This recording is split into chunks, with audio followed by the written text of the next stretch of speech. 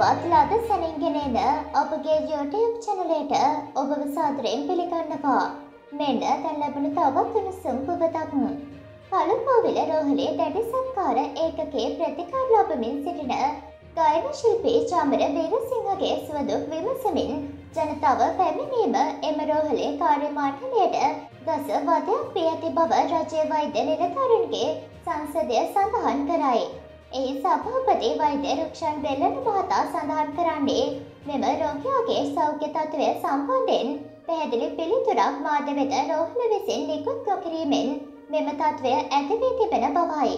කෙසේ වෙතත් තම සංසදය එලෙස ප්‍රකාශ කිරීමට ඇතේ තවමත් චාමරවීර සිංහ රෝහලේ දැඩි සත්කාර ඒකගේ තවතුරටත් ප්‍රතිකර ලබන බවත් ඕගේ තත්ත්වය උත්සන්නවීමක් හෝ සුව අතට හැරීමක් පෙන්නුම් නොකරන බවත් හෙතම පැවසේය.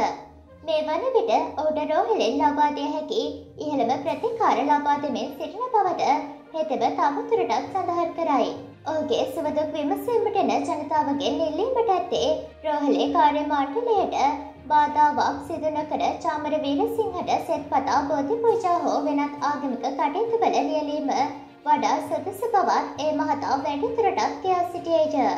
මෙවැනුනි සුම්පුවත් ලාද සැනින් දැන ගැනීම සඳහා අපගේ YouTube චැනලය සබස්ක්‍රයිබ් කර බෙල් අයිකනය ක්‍රියාත්මක කරන්න.